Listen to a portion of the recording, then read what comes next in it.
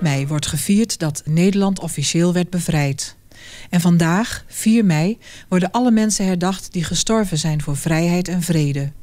Hier in Ede gebeurt dat bij het mausoleum op de Paasberg, een gemetseld grafmonument waarin 29 gesneuvelde verzetsmensen begraven liggen. Na de twee minuten stilte wordt het Wilhelmus gespeeld, zal burgemeester Kees van den Knaap een toespraak houden en zullen twee schoolkinderen de namen noemen van de gesneuvelde Edenaren.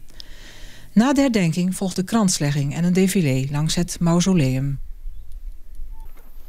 Goedenavond, dames en heren, jongens en meisjes. Vandaag, 4 mei, herdenken wij de vele slachtoffers van de Tweede Wereldoorlog. Miljoenen mensen hebben de hoogste prijs betaald in die oorlog. En dat geldt ook voor de mannen die hier in het mausoleum zijn bijgezet en herdacht worden. Dit mausoleum is de laatste rustplaats voor de omgekomen Edese verzetstrijders. Verzet, verzetstrijders. Je verzetten tegen overheersing, tegen onrecht, tegen machtsmisbruik, tegen, tegen iets wat voor jou niet goed voelt.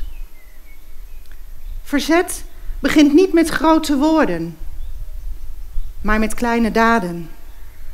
Zoals storm met zacht geritsel in de tuin, of de kat die de kolder in zijn kop krijgt. Zoals brede rivieren met een kleine bron verscholen in het woud. Zoals een vuurzee, met dezelfde lucifer die de sigaret aansteekt. Zoals liefde met een blik, een aanraking, iets dat je opvalt in een stem. Jezelf een vraag stellen, daarmee begint verzet. En dan die vraag aan een ander stellen. Al dus Remco Kampert in zijn gedicht Iemand stelt een vraag.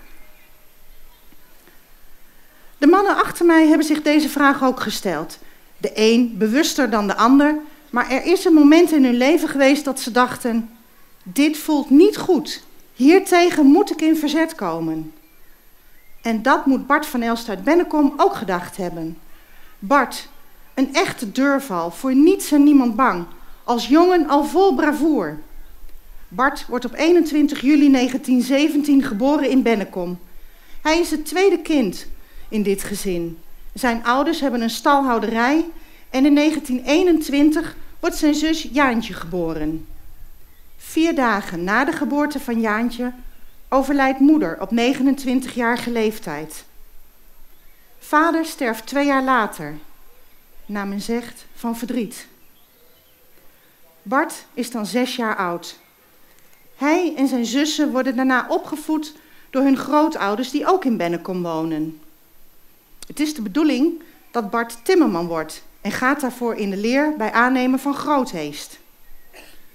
Op zijn twintigste in 1937 wordt hij opgeroepen voor militaire dienst.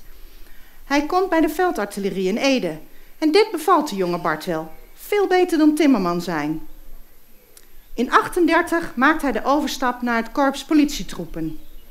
Dit korps verricht politiediensten voor het leger. En ook in de liefde gaat het goed. Hij krijgt verkering met de Edese Beb Busser. Ze verloven zich en op 30 maart 1941 doen ze als voorbereiding op hun huwelijk samen beleidenis in de Noorderkerk in Ede. En van Beb ontvangt Bart hierbij een boek cadeau met de titel Als een goed soldaat. En Beb geeft hiermee, als verloofde van Bart, haar toekomstige echtgenoot, haar onvoorwaardelijke steun. Dit boek is namelijk opgedragen aan alle nabestaanden van hen die vielen als een goed soldaat bij de verdediging van hun vaderland. De eerste oorlogsjaren verlopen redelijk rustig voor Bart. Op bevel van de bezetter worden de Rijkspolitiediensten samengevoegd tot de marechaussee. Hij wordt gelegerd in Groesbeek bij Nijmegen. Bart komt regelmatig thuis in Bennekom en bij zijn verloofde Beb in Ede. In mei 1942 wordt Bart samen met 17 collega-marechaussées gearresteerd, omdat ze luidkeels het oude volkslied Wie Nederlands bloed door de aderen vloeit zingen in Nijmegen. Ze worden allen overgebracht naar kamp Amersfoort. In de eerste jaren van de oorlog is dat een doorvoerkamp richting Duitsland. En dat gebeurt ook met Bart en zijn collega's. Ze worden voor 18 maanden, dus anderhalf jaar, te werk gesteld in Duitsland. Anderhalf jaar voor het zingen van het oude volkslied. Eind oktober 1942 mag Bart een weekje met verlof naar Bennekom. En romantisch laten Bart en Beb samen foto's maken in die herfstweek. En daarna vertrekt hij weer naar Duitsland. In september 1943 moet Bart als getuige optreden bij een rechtszaak in Arnhem. En dan neemt hij het besluit om niet meer terug te keren naar Duitsland. En duikt onder bij, bij de schoonouders van zijn zus Jaantje die in de Kraats wonen, richting Veenendaal. Bart zoekt contact met het verzet in Bennekom en is in voor iedere actie waarbij het verzet zijn hulp kan gebruiken. En Bart kan goed persoonsbewijzen vervallen, vervalsen en doet dat zeer regelmatig. Vanaf 1941 namelijk moeten alle personen vanaf 15 jaar een persoonsbewijs hebben, voorzien van pasfoto en vingerafdruk. Het wordt voor de Duitsers zo gemakkelijker om iedereen te controleren. Vooral jonge mannen die de arbeidseinsatz willen ontduiken en voor Joden en onderduikers is een vervalst persoonsbewijs van levensbelang. En in die tijd zaten er circa 200 onderduikers in Bennekom. Onderduiken is voor Bart niet verscholen zitten in een schuur of op een zolder. Nee, hij fietst het liefst rustig rond, soms met een pistool gewoon aan het stuur. Op een avond in maart 1944 fietst Bart van Veenendaal naar Ede. Hij wordt aangehouden door een landwachter en twee voor de Duitsers werkende marchezees, waaronder de beruchte overste Veenstra. Veenstra herkent zijn vroegere ondergeschikte en kent zijn reputatie. En ze dwingen hem, nadat ze hem met een gummiknuppel een paar rake knap, klappen hebben gegeven, om in hun auto te stappen.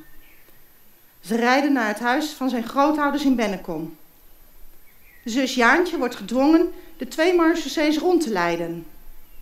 Ondertussen wordt haar man onder schot gehouden in huis en haar broer door de landwachter in de auto. Het zijn spannende momenten. Ze zijn op zoek naar wapens en onderduikers.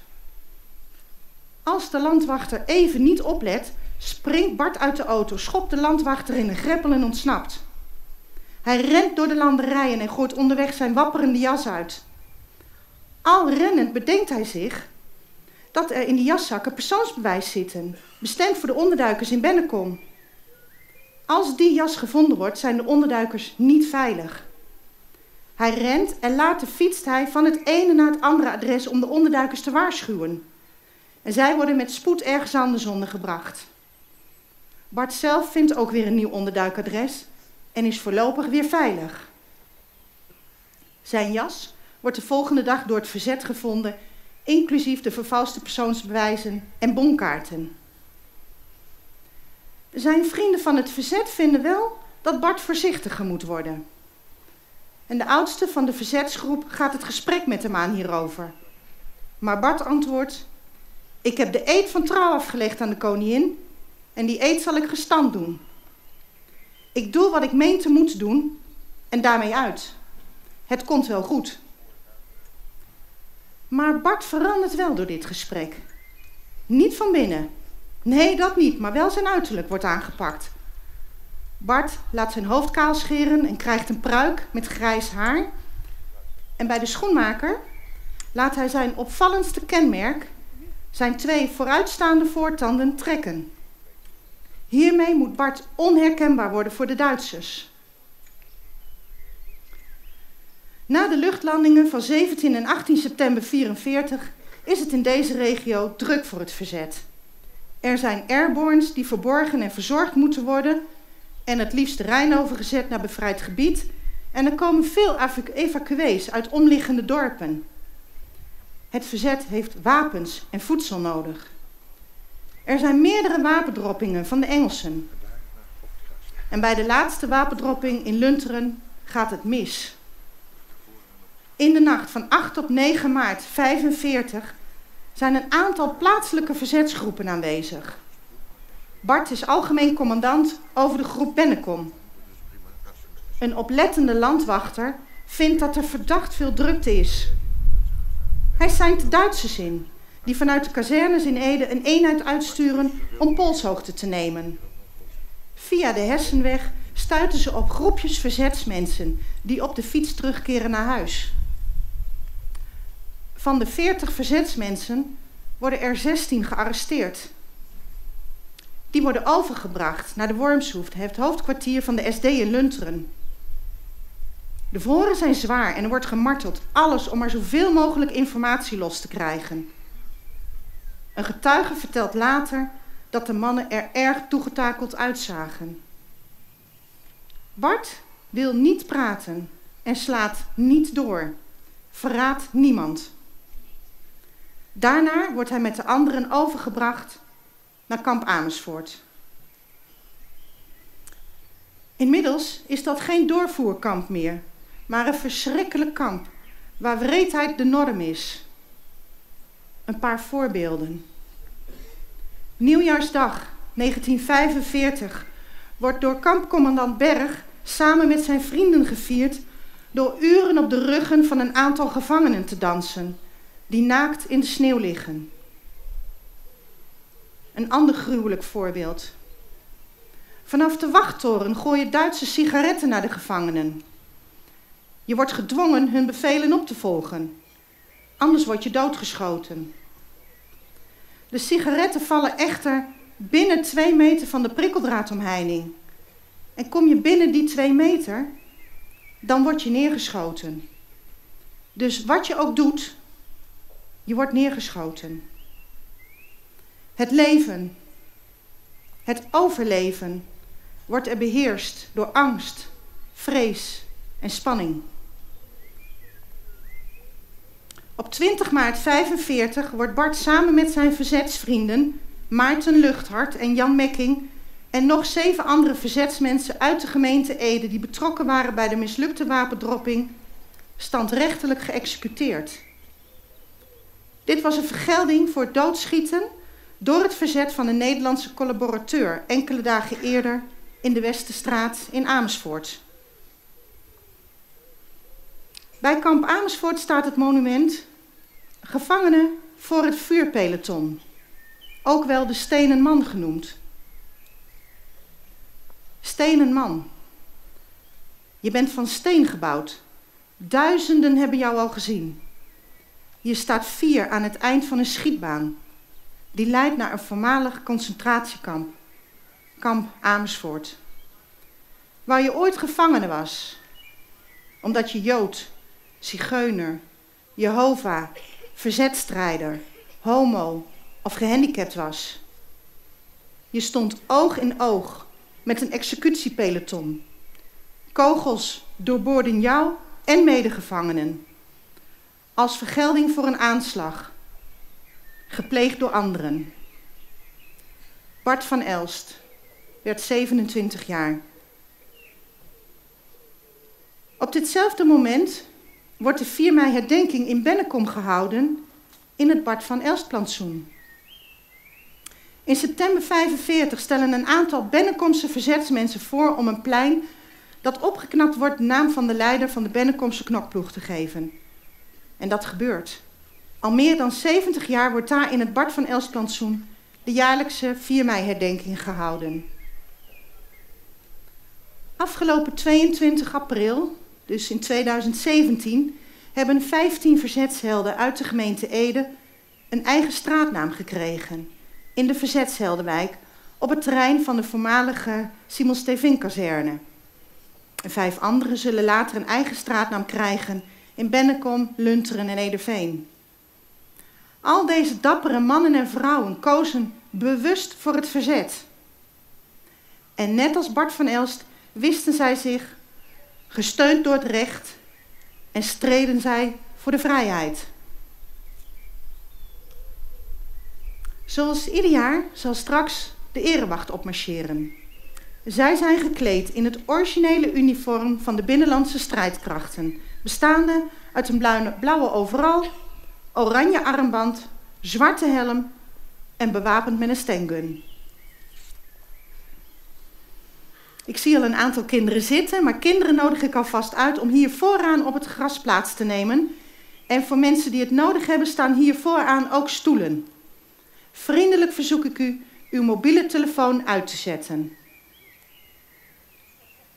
Tot acht uur luisteren we naar koraalmuziek, uitgevoerd door de Harmonie onder leiding van dirigent Wolbert Maars.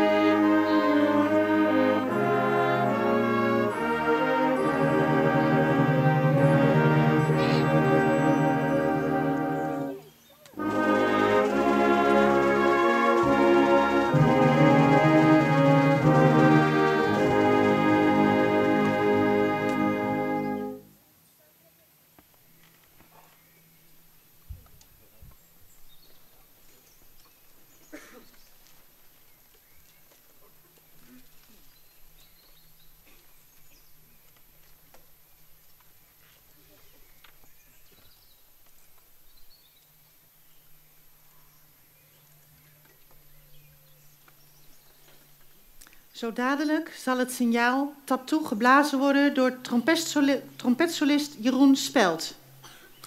Daarna volgen de twee minuten stilte. Na de reveille zingen wij het eerste en het zesde couplet van het Wilhelmus. En het NK Mannenkoor zingt met ons mee. Nu eerst het gedicht Twee minuten, geschreven door Wendeline Braaksma voor het Nationaal Comité 4 en 5 mei. Twee minuten. Twee minuten terugdenken. Herdenken. Meeleven met de slachtoffers. Op een plek waar we geen oorlog willen kennen. Twee minuten terugdenken. Bedenken hoe het voor hen was. Twee minuten stilte. Om te laten zien wat het voor ons betekent. Dat wij vrijheid kennen Twee minuten stilte. Op een plek waar vrijheid is. Ik verzoek u vriendelijk om voor zover mogelijk te gaan staan voor ons volkslied zo.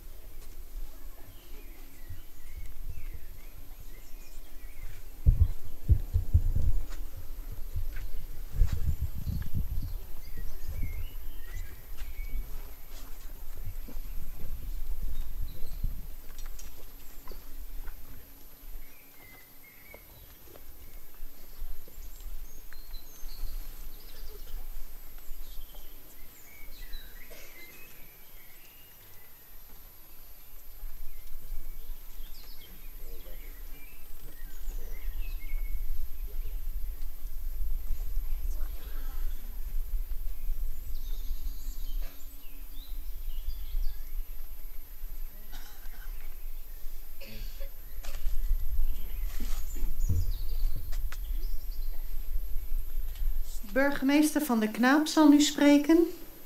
En daarna zal hij samen met Karin Tonen en Boas Hofwegen, twee leerlingen van basisschool De Vlinderboom, de namen van de gevallen verzetstrijders noemen.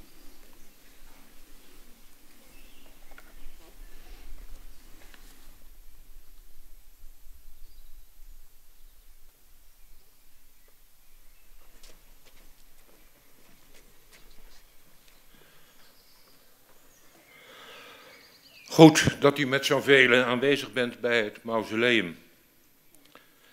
We waren net twee minuten stil. Heel even. Maar lang genoeg om stil te staan bij alle mannen en vrouwen die hun leven hebben gegeven voor onze vrijheid. Om aan hen te denken die nog steeds strijd leveren om in vrijheid te kunnen leveren. En dat doen we op dit bijzondere stukje Ede. Een omgeving van bezinning, van verleden, van verdriet, maar ook een plek van hoop en toekomst. Met een mausoleum waar de namen van 44 Edese verzetstrijders in de muur staan gegrift. Het is in enkele weken tijd de tweede keer dat ik hier sta. Kort geleden stond ik op deze plek met de kinderen van de Prins Floris School, die het mausoleum hebben overgedragen aan kinderen van de basisschool De Vlinderboom. Die overdracht is vooral symbolisch. De kinderen onderhouden het monument in hun gedachten. Als ze maar af en toe stilstaan bij de 44 namen hierachter, als ze maar af en toe denken aan de vrijheid waarin ze leven, dan zijn deze mensen niet voor niets gestorven. Net als wij zojuist gedaan hebben. 120 seconden. Zojuist tijdens de herdenkingsdienst in de Oude Kerk heb ik het verhaal verteld van Bart van Elst. In de kracht van zijn leven legt hij de eed van trouw af aan de koningin. Met levenslust en voor niets en niemand bang leidde hij de verzetsgroep in Bennekom. U heeft hier zijn levensverhaal gehoord, de net verteld door Betty Busser. We herdenken hem bij dit mausoleum samen met de omgekomen Edese verzetstrijders. Bij het monument ernaast staan we stil bij de militairen die sneuvelden als gevolg van oorlogshandelingen in Nederland en in Nederlands-Indië. En bij het Joods monument herdenken we jaarlijks in januari de Joodse mensen die geboren zijn in Ede of tijdens de oorlog woonachtig waren hier en zijn weggevoerd en omgebracht. En daar op de hoek aan de Vossenakker en de Arnhemse weg staat het bevrijdingsmonument daar wordt op 17 april jaarlijks de bevrijding van Ede herdacht. De Paasberg is daarmee een bijzondere plek ter herinnering aan diegenen die zo zwaar getroffen zijn tijdens de Tweede Wereldoorlog. Oorlog Verzet en bevrijding zijn onlosmakelijk verbonden met Ede. En het is eervol en indrukwekkend dat we in Ede vorige week een hele nieuwe woonwijk mochten vernoemen naar lokale verzetshelden. Het is eervol en indrukwekkend dat we hier in Nederland al 72 jaar in vrede mogen leven. En dat schept verplichtingen. We moeten blijven beseffen waar oorlog en vrede over gaat. We moeten beseffen dat het bewaren van de vrede nooit vrijblijvend en zeker niet vanzelfsprekend is. Het bewaren van de vrede, het koesteren van de vrijheid, dat moeten we allemaal doen. Wie en waar we ook zijn. Jong of oud, man of vrouw. Vrede en vrijheid geven we aan elkaar door. Zo werkt het in de democratie. In een samenleving waar ieder zichzelf mag zijn, ongeacht huidskleur, geslacht, geaardheid of geloofsovertuiging. Hier in Ede werken we aan een samenleving waar ontmoeting en verbinding een belangrijke plaats hebben. En deze plek hier is voor mij het symbool van ontmoeten en verbinden. Waar verleden, heden en toekomst samenkomen. Waar verdriet en optimisme elkaar treffen. Waar herinneringen en vooruitkijken hand in hand gaan. Even waren we stil. Twee minuten. Twee minuten stilte voor miljoenen slachtoffers. Twee minuten stilte voor onze 44 Edese verzetstrijders. Deze 44 namen voor eeuwig gegrift in deze muur vertellen ons dat vrijheid nooit vanzelfsprekend is. 44 namen. We zullen ze eren, we zullen ze herdenken, we zullen ze niet vergeten.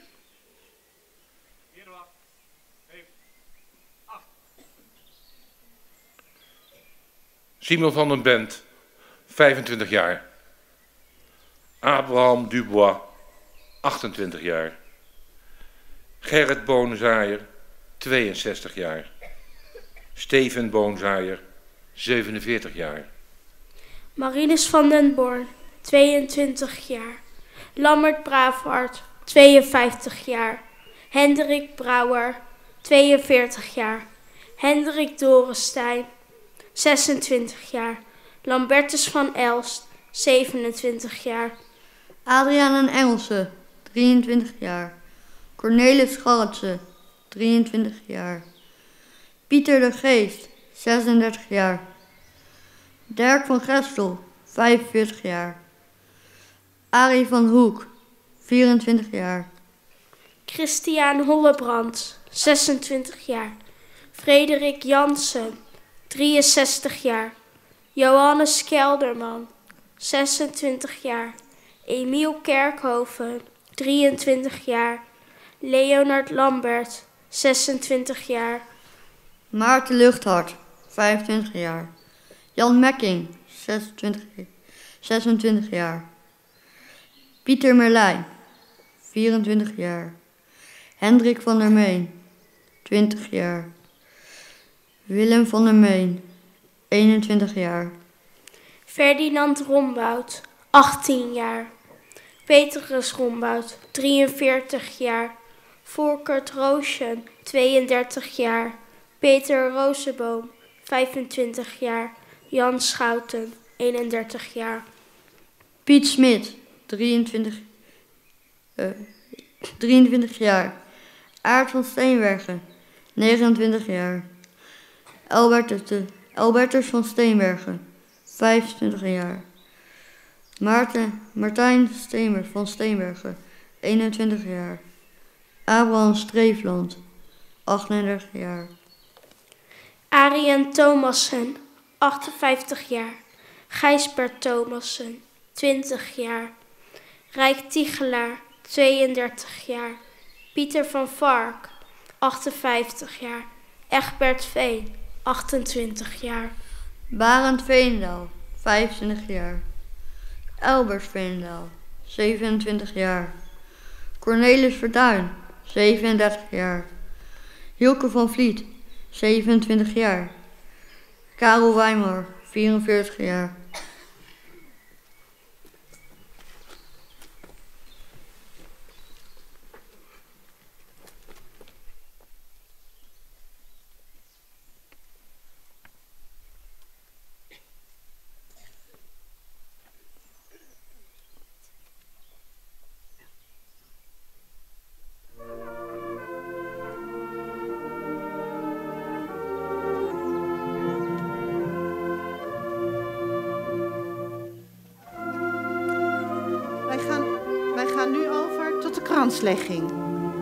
Als eerste legt burgemeester Van der Knaap een bloemstuk bij het gedenkteken rechts aan het pad.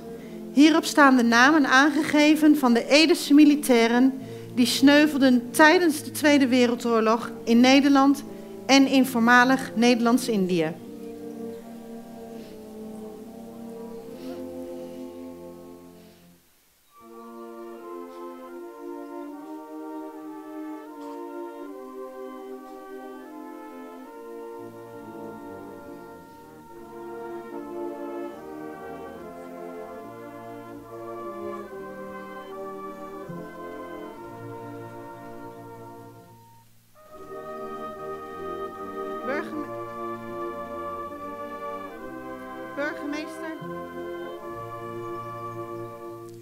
Burgemeester Van der Knaap legt namens de bevolking van Ede een krans bij het mausoleum.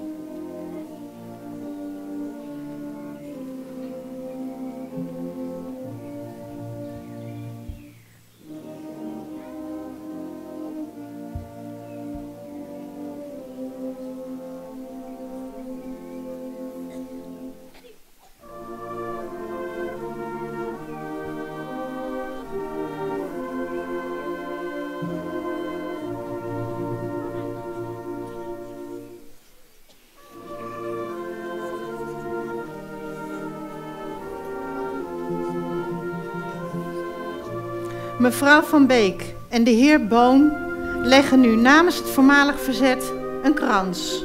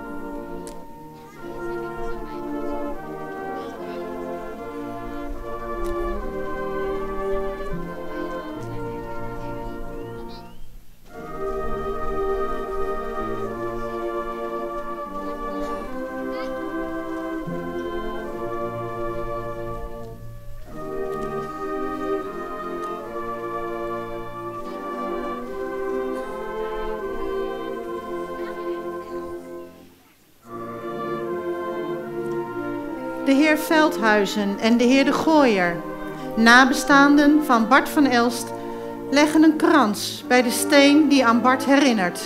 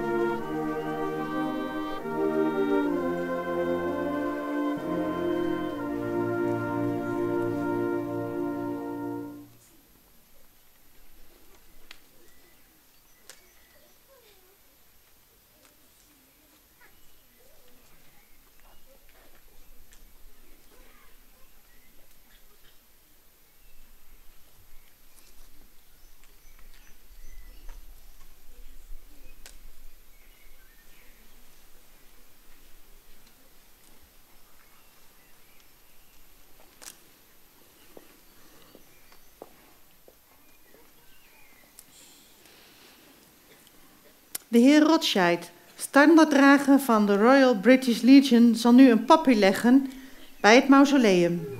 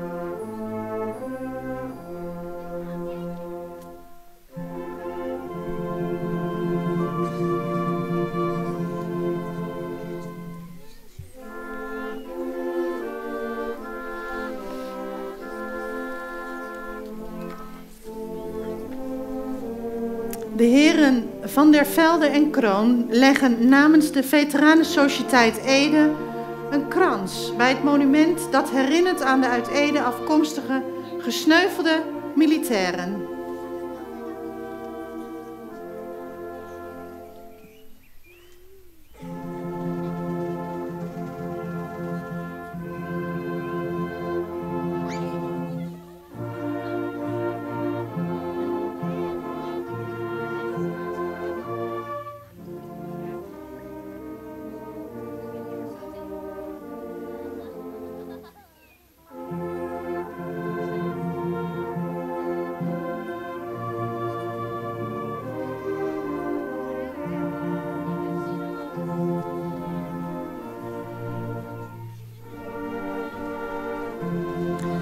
Het politiedistrict West-Veluwe-Vallei wordt nu een krans gelegd door de twee teamchefs van politie Ede, de heren Van den Berg en Munniksma.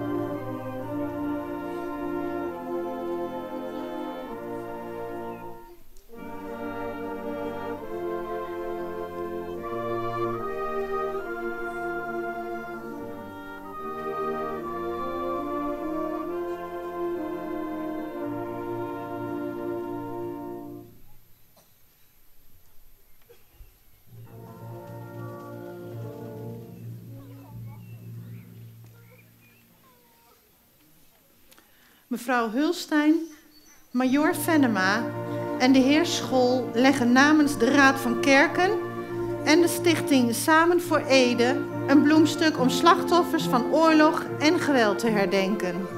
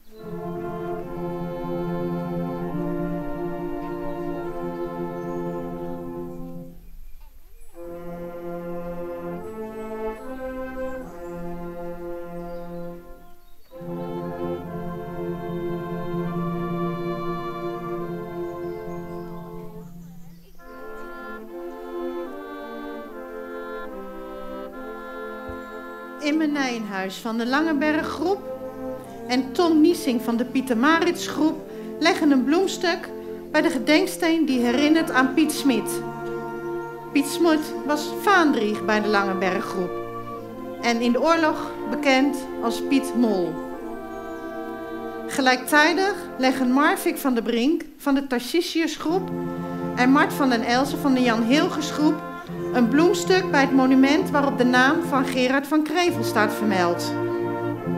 Gerard van Krevel was lid van de Tarcisiusgroep. Hij overleed op 15 augustus 1949 op het eiland Java aan de verwondingen die hij had opgelopen bij een aanslag met een bermbom.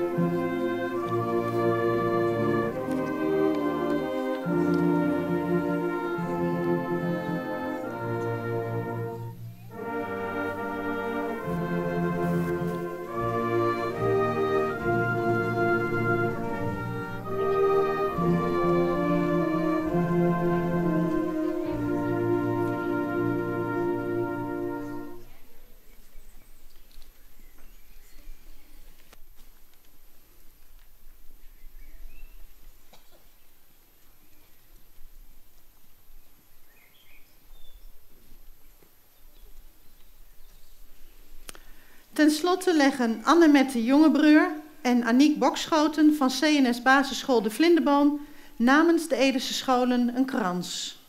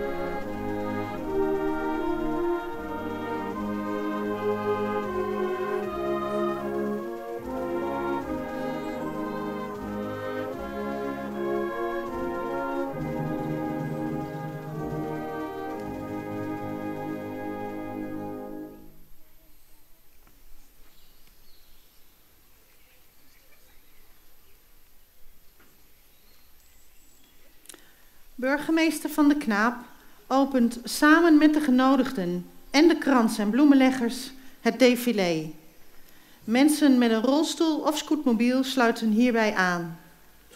U kunt daarna aansluiten, waarbij wij u verzoeken de aanwijzingen van de scouts te volgen.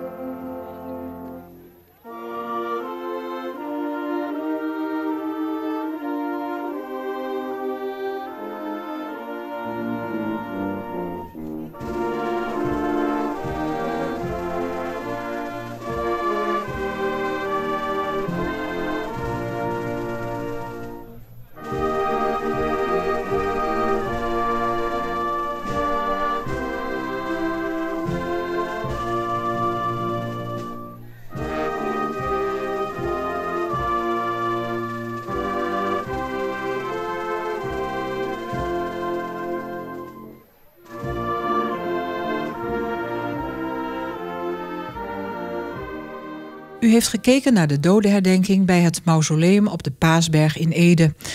Belangstellenden die deelnemen aan het défilé zullen nog in de gelegenheid gesteld worden bloemen te leggen bij de graven van de gesneuvelde Edenaren. We danken u voor uw belangstelling.